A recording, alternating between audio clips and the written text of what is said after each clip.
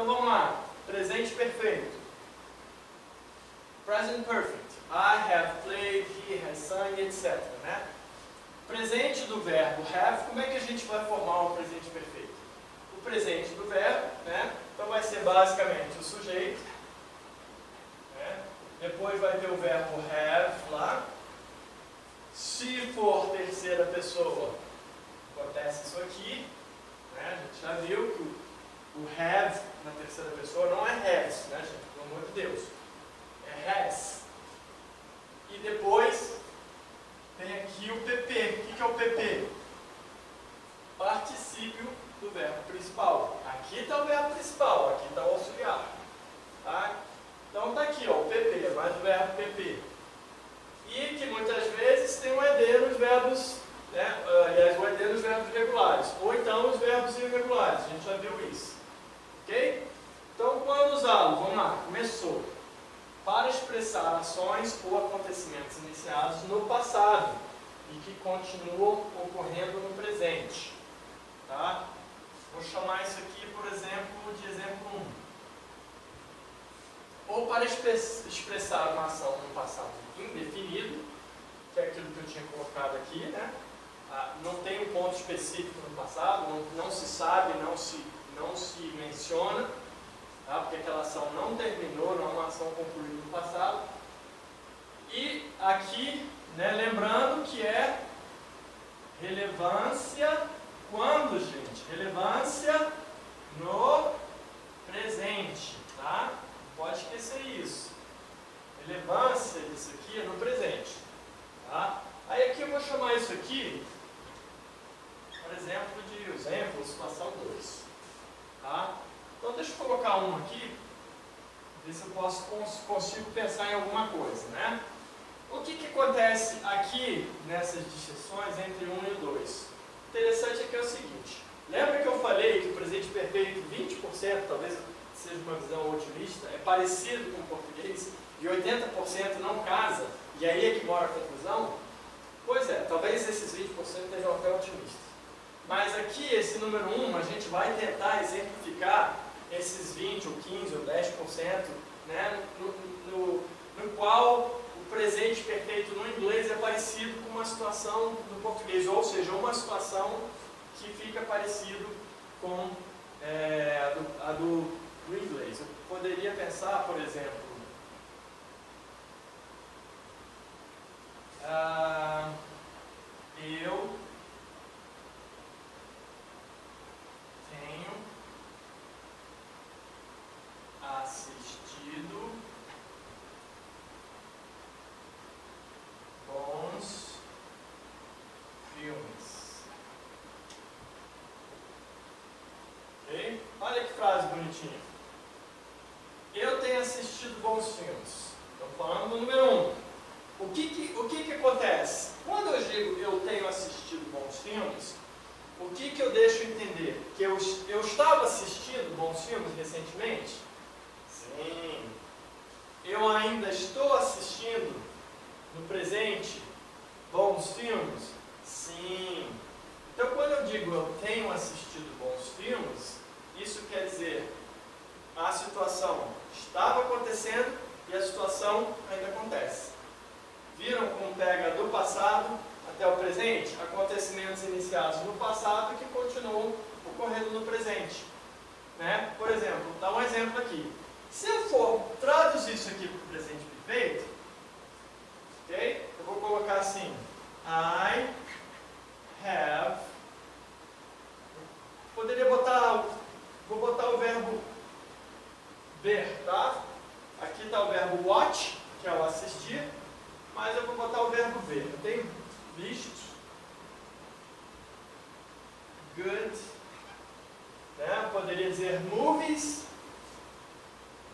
Se eu estivesse lá na América, mas como aqui vamos fingir que eu estou na Inglaterra, eu vou dizer films. Tá? Deixa movies, por enquanto, para lá. Eu estava falando de LA, né? mas finge que eu estou aí em Londres. Ok? Eu tenho assistido bons filmes. I have seen good movies. Já ia falar movies, desculpa. Good films. Pô, olha duas frases aí. Mas professor, senhor não disse que era diferente? Eu, I, tenho, have assistido, watched or seen bons filmes. Good films. Ué, mas tá igualzinho. Como assim? O senhor disse que era diferente, que fazia confusão? Sim. É porque aqui, a gente, está na percentagem pequenininha dos casos que a gente vê que se usa o presente perfeito igualzinho a gente faz em português. Tá? É, agora vamos ver um exemplo aqui de expressão ação passado indefinido. Agora eu vou dar um exemplo clássico aqui que a gente vai inclusive ver mais à frente. Esse exemplo é clássico. Perdi minha chave. Perdi minha chave. Ok. Tá? O que, que acontece? Isso aqui é uma situação pontuada no passado. Eu estou falando do passado. Ou eu estou falando que no presente eu estou atrás das minhas chaves? Vou botar aqui Normalmente são mais de uma, né? Do plural. Olha, gente, poderia ter as duas situações. Se eu disser assim, ah, pô, eu tava numa festa, numa bagunça, em algum lugar e tal e tal, e aí perdi minha chave e tal. Aí eu estou me referindo àquele ponto no passado. Tá? Eu, eu, quando eu digo perdi minha chave, eu não preciso dizer perdi minha chave há 3 dias e 4, e 4 horas e 57 minutos. Eu não preciso falar isso. Eu estou falando de um evento, estou falando de uma situação quando eu falo, ah, eu estava lá dando tanta bagunça que eu perdi minha chave. Quando eu digo isso, eu estou me referindo àquele ponto, àquele evento, àquela situação no passado. Isso aí é passado simples. Agora, quando eu digo assim, perdi minhas chaves, cadê as danadas? Se eu estou procurando por elas, aqui é presente perfeito. Tá? Porque essa situação aqui, ela tem relevância no presente. Ou seja, eu ainda estou procurando as minhas chaves, eu ainda não tenho as minhas chaves. Então aí, nesse sentido, nesse contexto, I have lost my keys. Pronto. Aí complicou um pouco. Aí aqui voltou o que é normal, a diferença. Olha, perdi minhas chaves, né? Obviamente aqui sujeito oculto, o eu a gente não fala, no inglês a gente não faz isso, I have lost my keys. Tá? Isso aqui quer dizer o seguinte, isso aqui é presente perfeito, ó. Tá o have aqui e aqui o verbo, apesar de que este verbo é igual, é um verbo irregular, mas é um daqueles casos no qual o passado e o particípio são iguais. Tá? Tem alguns verbos que caem nesse caso. É, os verbos regulares, eles terminam em ED e o passado e o particípio são iguais, certo? Agora tem verbos que são irregulares não são tão irregulares. Eles são irregulares, eles não terminam em ED, mas em alguns casos o passado e o particípio são diferentes. Né? O lose, né, que é o verbo perder, é um desses casos, que o passado e o particípio é lost, é igual. Tá? Mas aqui não se engane, aqui é particípio. Tá? Se fosse outro verbo, estaria na forma do particípio. Então, I have lost my keys. Isso aqui é uma frase no presente perfeito. Pode expressar uma ação no passado indefinido que tenha relevância no, presente. Então, a gente viu aqui dois casos. Né? Eu poderia matar vocês de confusão citando uma coisa aqui, é, só por curiosidade, que, apesar da boa notícia aqui, que existem casos, né, que o presente perfeito é parecido com uma forma, como a gente diz, é, a má notícia é a seguinte, que em muitos desses casos, quando a gente fala algo nesse sentido aqui, de ações que iniciaram, que, que aconteciam e que continuam acontecendo, no inglês a gente vai usar uma conjugação que não está nesse curso, porque ela é um pouco mais rara, que é o presente perfeito contínuo.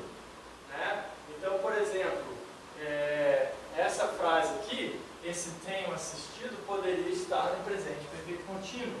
E a única diferença né, seria que eu colocaria aqui I have. Né? Como é que a gente pega, por exemplo, I work, no presente simples, e coloca no presente contínuo? A gente enfia um be aqui no meio, né? E pega esse cara e transforma ele em ing. I am working. Aí ficaria a forma do presente contínuo. I am working. Acabamos de ver isso, né? Acabamos de ver isso lá no presente contínuo. Né? O verbo to be e coloca o verbo principal no ing. E aqui, eu não tenho o verbo participio? Como é que eu formaria o presente perfeito contínuo? Pego e enfio um be, mas o be tem que ser como? No particípio. Tá?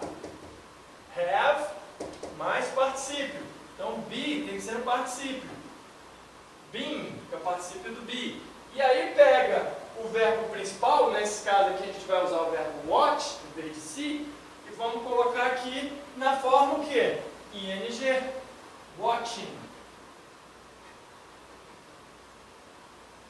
Pronto. I have been watching. Bem-vindos a uma frase no presente perfeito contínuo.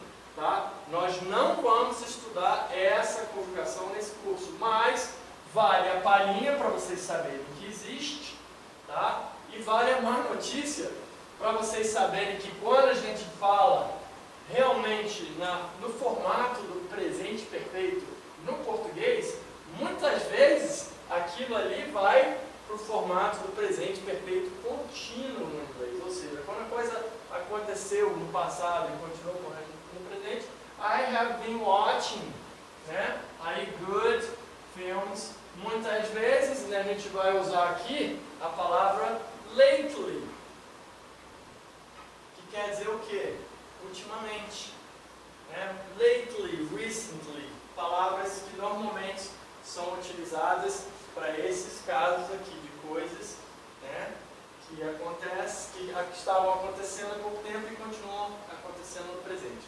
Ok? Mas isso aqui, gente, não é tá, o assunto de, desse, desse tema, mas eu acho que é sempre válido dar palhinha mais aí, né, para vocês saberem que tem o presente perfeito, e assim como tem o presente simples e o presente contínuo, o presente perfeito também tem uma forma contínua. É só enfiar o be mas tem que enfiar ele no particípio, tá? porque tem que ser have mais particípio, e depois pega o verbo principal e joga o ing nele, bota ele na forma contínua. Pronto, acabou. Tá aí o presente perfeito contínuo. Tá? Fica uma palhinha aí, a gente não vai entrar muito nisso nesse curso, mas eu acho que sempre vale a palhinha. Ok? Continuando aqui, gente.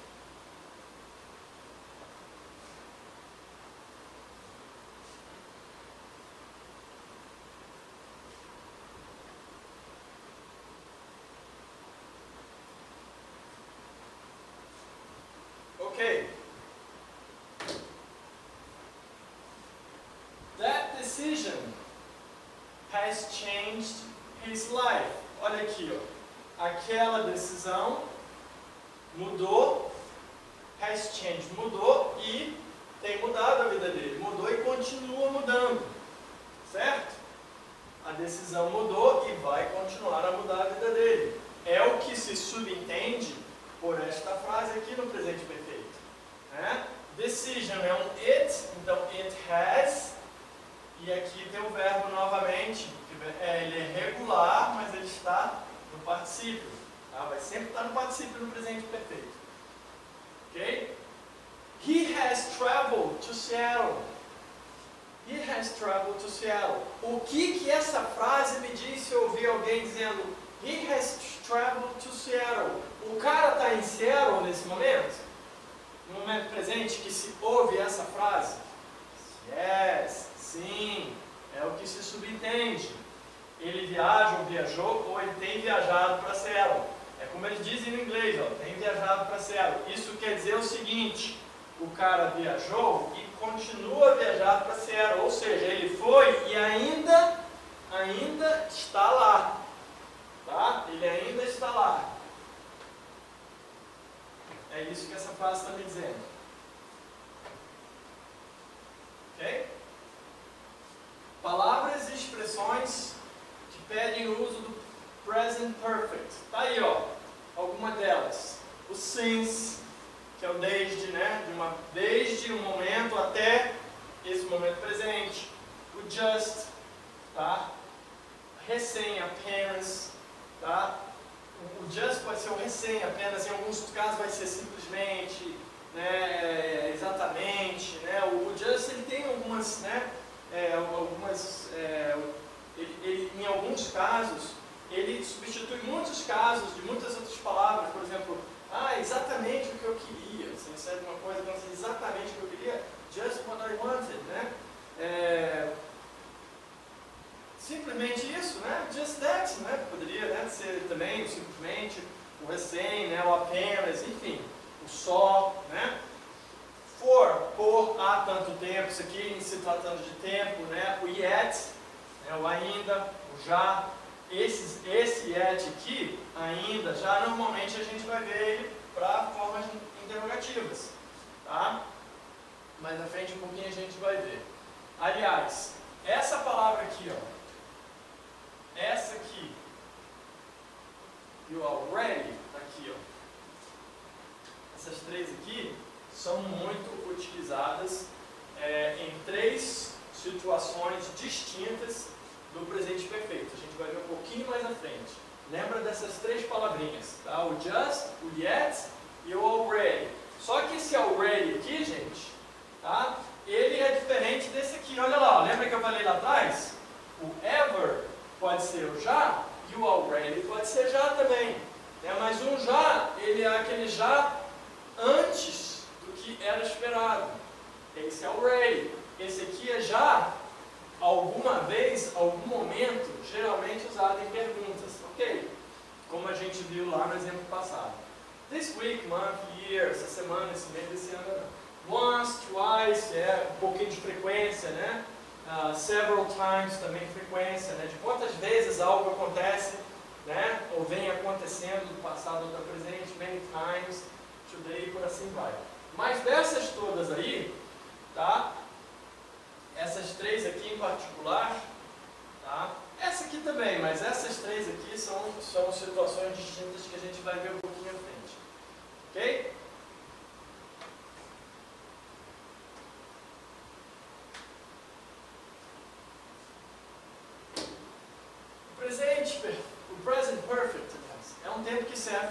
ações que acabam de suceder no passado e que guardam alguma relação com o presente. Então está repetindo o que eu já falei aqui, né? Equivale ao português ao pretérito perfeito. Poderia se dizer que sim. Né? I have bought a car. Quando o cara diz isso, né? quando a gente diz que acabam de acontecer, né? não é tão, tão recente, mas são coisas relativamente recentes. Você não está falando de uma coisa há muito tempo tal. Quando, quando, eu, quando eu digo assim, I have bought a car, a, a pessoa que está ouvindo essa frase quer falar assim, pô, cadê ele? Vamos ver? Que carro? Quanto foi? Entendeu? Isso é que dá a entender você comprou um carro há pouco tempo. Eu comprei um carro, nesse dia que a ação de comprar um carro acabou de se realizar. Tá? É, se utilizarmos, pelo contrário, o past simple, aí você perdeu a conexão. Tá? Conexão com o presente você perde. I bought a car. Se o cara diz isso aqui para mim, eu vou perguntar assim, quando? Ele ainda existe? O que, que, aconteceu com ele? Quando que você comprou? Você vendeu tal? É outra coisa, é outro sentido. Eu comprei um carro, não implica que a ação tenha sido recente, nem que eu continue tendo esse carro. Não está dito isso aqui. Tá? Aqui sim.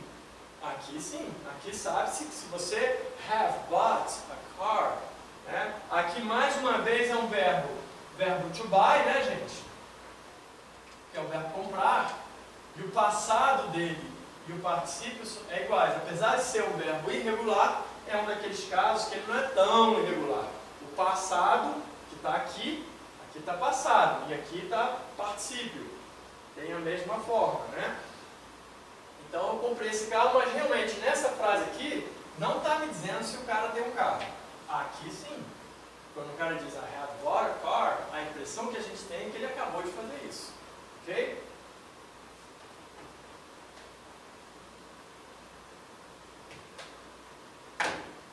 Nas orações com presente perfeito, o present perfect, não se costuma mencionar o momento, sim. Não se menciona o momento. Porque se você citar o momento, você pontuou o passado. Foi aquilo que eu disse lá na frente. E se pontuou o passado, a ação é do passado. Ela não tem mais relevância né, no presente. I have read a book. Ah, eu, li, eu li um livro. A, ação acaba de finalizar.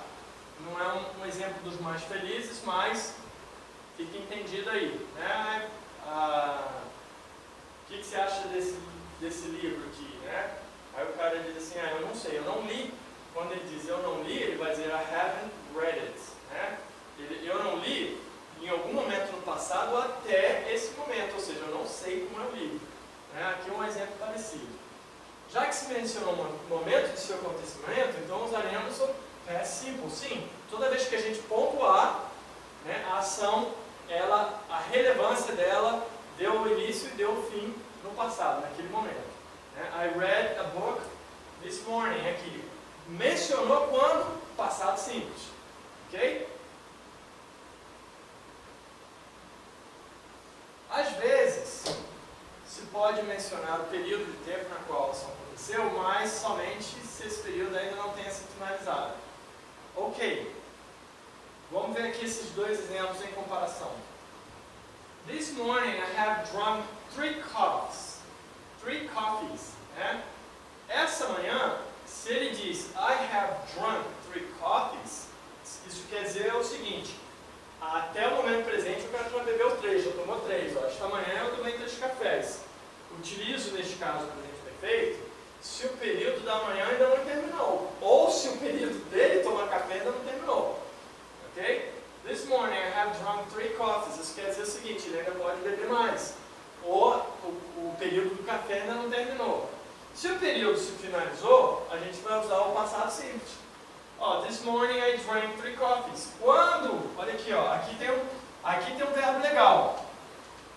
Porque é um verbo bem irregular. Vou botar as três formas aqui. infinitivo ou presente, passado, particípio. Drink, drank, drunk. Ok? Aqui tem o have mais particípio. Então está formando presente perfeito. Aqui eu tenho simplesmente o verbo no passado. Simples. Né? This morning I drank three coffees.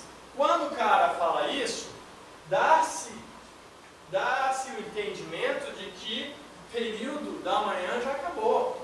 O café dele da manhã já acabou. Ele, nessa manhã ele bebeu três cafés e ponto, acabou. Esta manhã tomei três cafés. Isso nos indica que amanhã, né, ou o café se finalizou. Okay? A diferença basicamente é essa. Eu acho que está dando para entender aí, né, os contextos.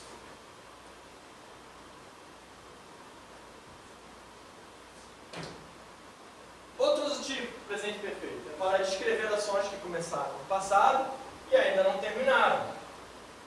Sim. Aqui a gente vai ver casos, novamente, que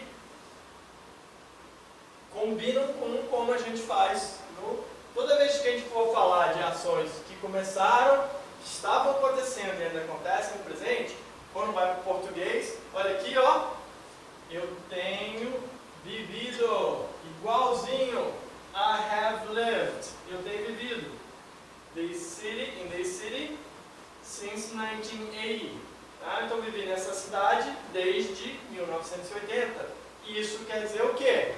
Que eu ainda estou morando nessa cidade, obviamente. Tá? Se eu dissesse I lived, quer dizer que eu não moro mais na cidade. Ok? I have played tennis since my childhood.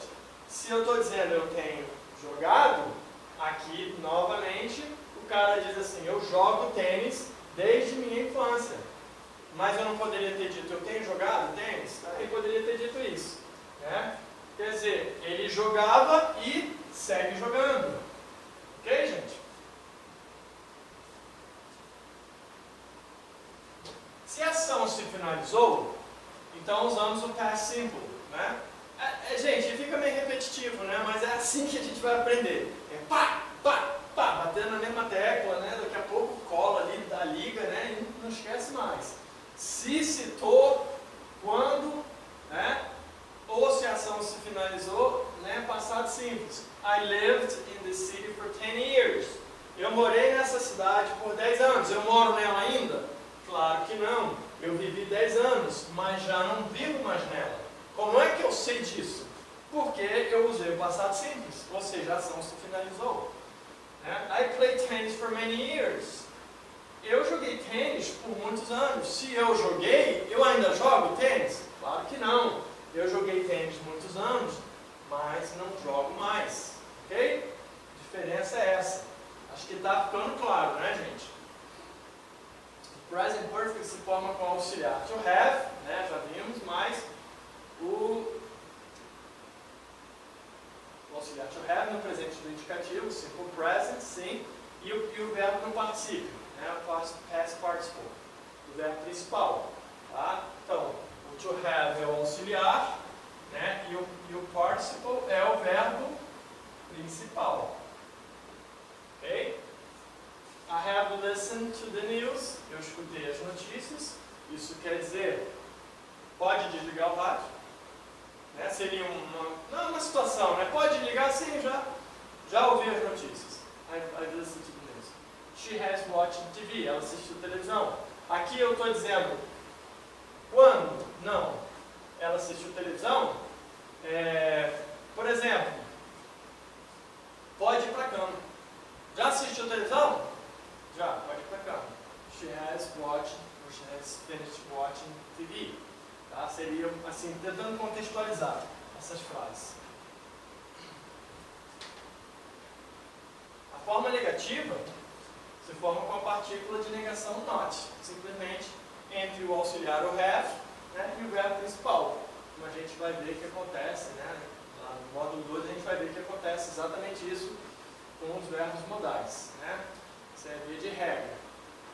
E a forma interrogativa se constrói, como é que a gente vai fazer a, a, né? Tenho que o subject, falando presente perfeito, né?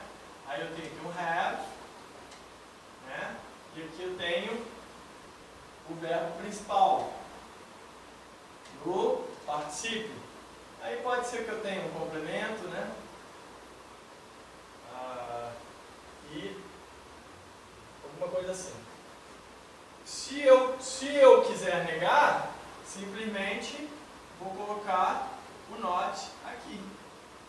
Né? Só isso. Né? Aí vai ficar have not, ou contraído, o haven't. Né?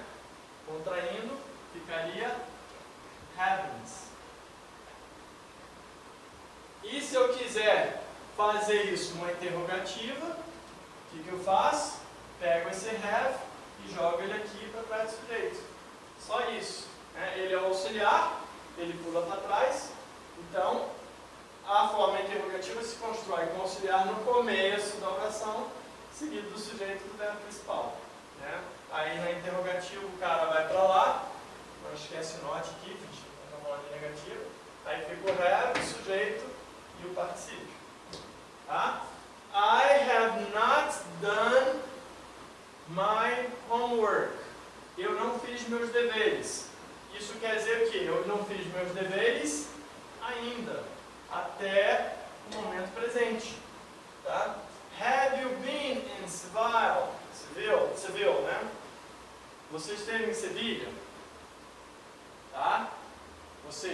Você já esteve em Sevilha, né? Have you been, né? Have you, have you been, have you ever been? Né? não muda o significado, só dá mais ênfase, né? Você já esteve em Sevilha?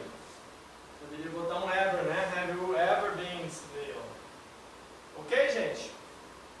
Agora, tem uma diferençazinha aqui nesse caso aqui e no verbo é, entre o, o, o ir para o lugar, ou viajar para o lugar, e o estar no lugar. Tá? Vou explicar um pouquinho mais à frente pequena distinção aí.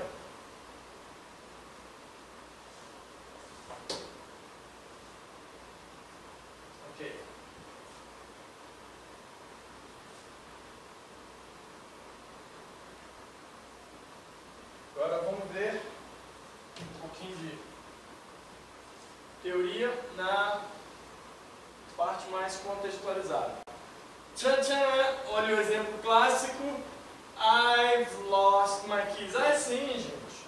Obviamente, o I have, né, assim como com outras pessoas, ele contrai. Né? Muitas vezes isso aqui vai se formar o quê? O I've. Nossa, meu I aqui tá feio. Peraí, gente. Vou melhorar minha caligrafia aqui.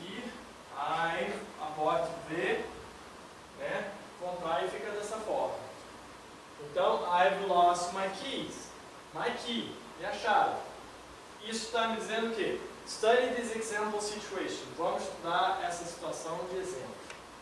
Tom is looking for his key. Oh, o Tom, nesse momento, agora, is looking for. Ele está procurando a chave dele, his key. He can't find it. Ele não consegue encontrar. He has lost his key. Ele perdeu a chave. Ou ele tem perdido a sua chave. Quando eu digo ele tem perdido, isso quer dizer o quê? He has lost his keys. He lost it recently ele perdeu recentemente. E mais importante, qual é a relevância no presente? He still does not have it.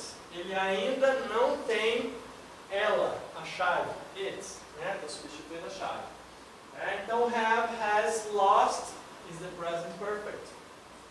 I, we, they, you, have. Né? Se for he, she, it, has que é a forma da terceira pessoa para o verbo have. Né? Aqui contrai, como eu falei, I've, e aqui contrai com o apóstrofe S. Poxa vida, mas a contração, professor, do he is, lá que a gente viu nas primeiras aulas do to be, também não é his.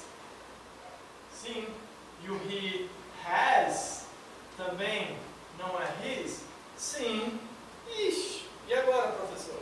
Como é que eu vou saber quando eu ver esse cara aqui, ó? De quem que eu estou falando? Olha, gente, vou dar um macetinho. Se você vê um verbinho aqui em seguida na forma ing, a gente está falando de presente contínuo. Aqui está escondidinho o verbo to be. Se eu ver um verbozinho aqui na forma do particípio, Tchan, tchan. Quem é que está escondidinho aqui? O verbo has. Porque eu estou falando do presente perfeito. Ok? Macete é esse. Olha, isso aqui eu já vi em prova. Tá? E derruba, derruba meia tonelada. Isso aí em prova às vezes. Ok. Ah, aí aqui estão os verbos no participio. Finished, verbo regular. Verbo regular. Lost, done, been, e etc, etc. Todos os verbos no particípio. Então, the present perfect simple is have, has, mais o particípio. Né? The past participle often ends in ed. Tá?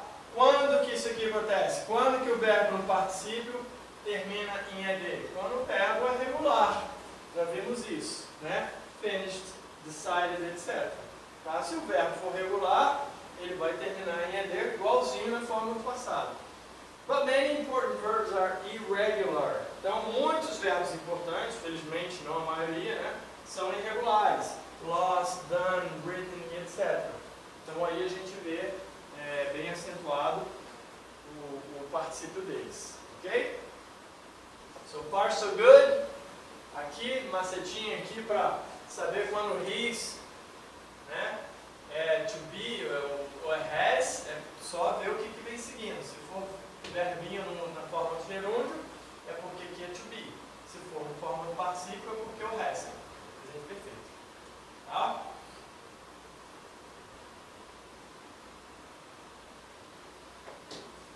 When we say, quando nós dizemos that something has happened, que algo tem acontecido, português para a gente aconteceu, né? This is usually new information. Isso é normalmente informação nova. Ow! I've cut my finger. Né? O cara acabou de cortar o dedo. I have cut my finger. The road is closed. A rua né, está fechada. There is been, there has been an accident. Ok? Aqui, gente, a gente vê um exemplo do there mais be, que a gente sabe que é um verbo. Haver ou existir, cuidado para não confundir isso com o verbo ter. Né? Haver ou. Se o there be é o verbo haver existir, como é que eu coloco que tenha acontecido, tenha havido? Né? Eu vou colocar esse cara aqui no particípio, só isso. E vou colocar na frente dele um has ou um have. No caso aqui, como foi um acidente, it has, it has, né? Aliás, it não. O there, né, gente? Desculpa. O there has been, tá? Aí vai ficar there has been porque isso aqui é como a gente coloca o there be na forma do presente perfeito, tá? There has been, o que que there has been? An accident. Se o accident é um it, é claro que o que vai no meio é o has. Por isso que está has ali. Se fosse plural, aqui se fosse outra coisa, aqui seria o have, ao invés de has, obviamente. Ok? From the news, as notícias. Police have arrested two men in connection with robbery. Ok, a polícia prendeu. Prendeu, mas tem prendido. Por quê? Os caras ainda estão presos. Então, have arrested. Two men, dois homens, in connection with the robbery. Conexão com algum roubo aí que aconteceu. Né? Aqui fica um pouco estranho, gente, porque police parece singular, né? Mas quando se fala de police, está se falando de um corpo, né? E esse corpo ele é composto, por isso a gente usa o have e não has nesse caso, ok? When we use the present perfect, quando usamos o presente perfeito, there is, aqui ó, o haver existir ali ó, there is, tem, há, existe, a connection, uma conexão with now, como agora, cansei de dizer isso, né?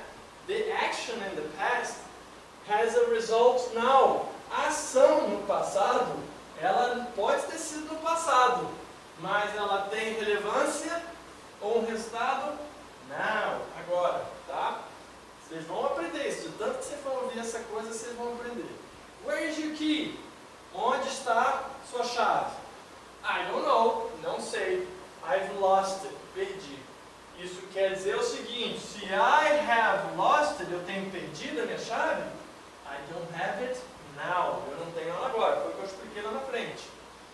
He told me his name, ele me disse o nome dele. Né? He told me his name, but I've forgotten it. Mas eu tenho esquecido, né? No português a gente diz, ah, eu esqueci.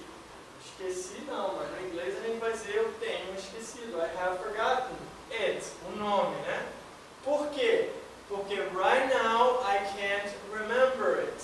Right now I can't remember. Eu não consigo lembrar, né? O nome do cara. I can't remember it, ou seja, his name. Ok? Is Sally here? A Sally, a Sally está aqui? No, she's gone out. Não, ela saiu. Ela já voltou? Não, ela não voltou. She has gone out. She's out. Não, ela está lá fora agora.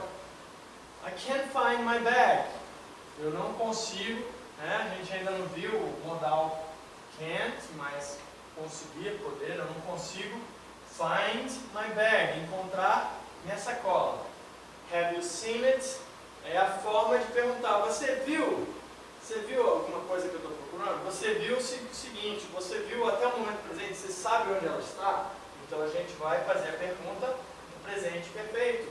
Se a afirmativa é You have seen, a interrogativa vai ficar Have you seen? Tá? Have you seen it? It o quê? My bag, né? Obviamente. Ok?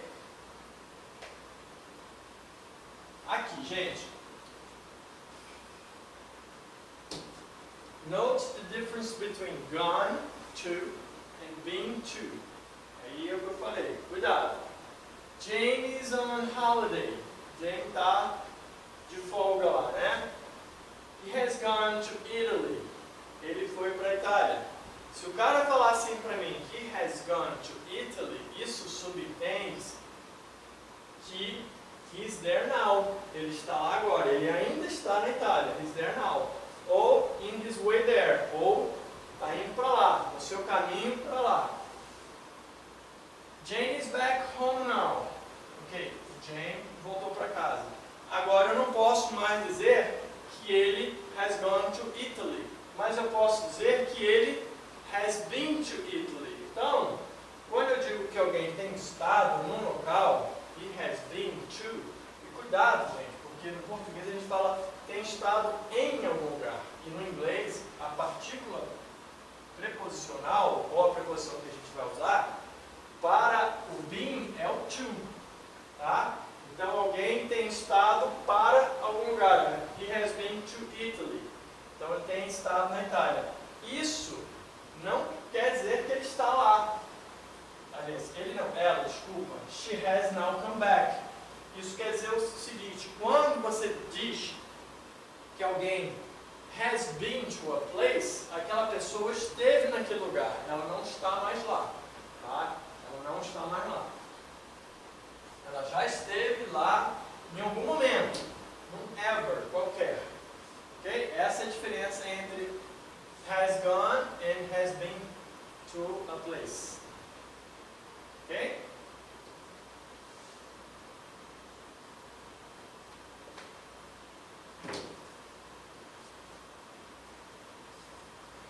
Gente, aqui ó, lembra lá atrás quando eu falei de três partículas importantes, lá daquelas palavras todas que normalmente se usam para o presente perfeito?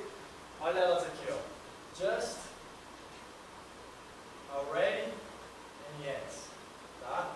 Então, vou fazer uma, uma explicação rápida aí de, do, do uso dessas três partículas. Just quer dizer o seguinte, a short time ago.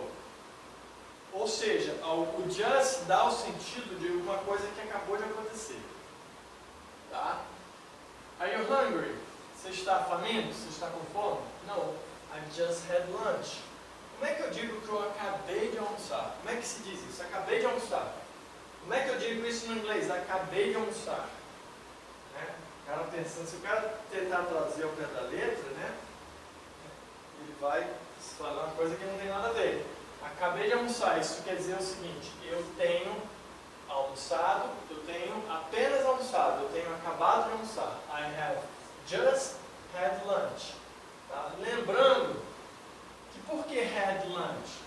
Porque have lunch, almoçar, é uma expressão composta. É have lunch. Professor, mas por que, que have lunch é almoçar? Por que, não tem um verbo para almoçar? Não sei. Qual é o verbo para tomar café? A gente não tem, então, mesma coisa. A gente não tem para tomar café, não tem para almoçar, não tem para jantar. Então é have dinner, have lunch, have breakfast. É, até tem o verbo dine, né? Normalmente é, é uma situação um pouco mais específica. Normalmente dining out, né? É, sair para jantar fora. Mas enfim. Então, o have lunch, qual é o particípio dessa expressão? Had, que é o particípio de have, lunch. Tá?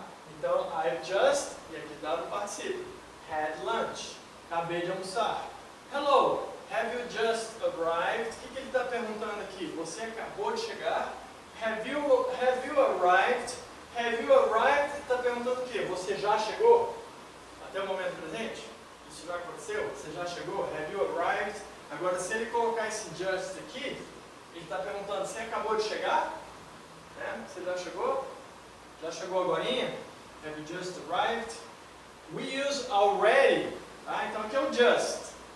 Né? A primeira partícula para é, demonstrar que é só aquilo. Né? Apenas aquilo, porque aquilo acabou de acontecer. Não aconteceu mais nada entre um, um momento e outro. Acabou de acontecer. We use already, usamos o already, to say that something para dizer que algo, alguma coisa, happened, aconteceu sooner than expected. Olha aqui, ó, que eu falei lá na frente. Sooner, mais breve, né, do que esperado, do que se esperava. Sooner than expected. Né? Então, esse aqui é aquela forma do já que eu falei, que eu expliquei. Tá? É antes do que se esperava. Don't forget to pay your electricity bill. Não se esqueça, don't forget, relativo aqui, to pay, pagar, your electricity bill, sua conta de eletricidade. I have already paid it. Quando o cara diz I have already paid it, e já paguei, já paguei. Já paguei, o que quer dizer se já paguei? Antes do que você esperava. Né? Eu já tenho pago antes do que você esperava. What time is Mark leaving? Que horas o Mark está saindo, está partindo? Is Mark leaving? Né? Que horas ele está partindo? He has already left. Aqui, ó, gente, obviamente, né, é o has. Né, o verbo has, que a gente está falando em presente perfeito. He has already left. Ele já partiu. Ele já tem partido. Tá? Ele já foi. Tá? E finalmente o yet é uma forma de perguntar ainda, né? É, until now, até agora. O yet shows that the speaker is expecting something to happen. É o ainda, né? Isso já, isso já na verdade, o, o, esse yet ele é usado muito para interrogativa e para negativa. Tá? Quando for interrogativa, ele é uma, uma outra forma do nosso já. Isso já aconteceu? Aí na interrogativa a gente vai usar o yet. E na negativa, o ainda. Tá? Ainda não aconteceu. Tá? Então o yet, essa partículazinha, mais utilizada nas interrogativas, utilizadas né, na interrogativa e na negativa, vai ter essa conotação. Então, olha aqui, ó, is expecting something to happen. O cara está esperando que algo vai acontecer. Use yet only in questions, olha aqui, ó, nas perguntas interrogativas e nas formas negativas. Ok? Has it stopped raining yet? É, é o nosso já parou de chover? Ou seja, parou de chover ainda, né? Já parou de chover? Has it stopped raining yet? I've written the email. Já escrevi o e-mail. But I haven't sent it yet. Mas ainda não enviei o e-mail. Né? Ainda não tenho enviado. Aí aqui ele vira ainda. Né? Olha no português como é que fica. Já parou de chover? Aqui ele é já. Aqui, ó, ainda não enviei. Aqui ele é ainda. Tá vendo lá, gente, a correlação? Então, o yet vai dar essa conotação aqui pra gente, nessas duas formas aí de interrogativa e negativa. Ok? Então, aqui a gente fecha essas três palavrinhas que eu disse lá na frente, que são muito utilizadas no presente perfeito, em três, situa três situações diferentes. Né? Na verdade, não são três situações diferentes, são três partículas que são usadas para denotar é, essas, essas situações. Ok? So far, so good? Any question? Espero que não, né?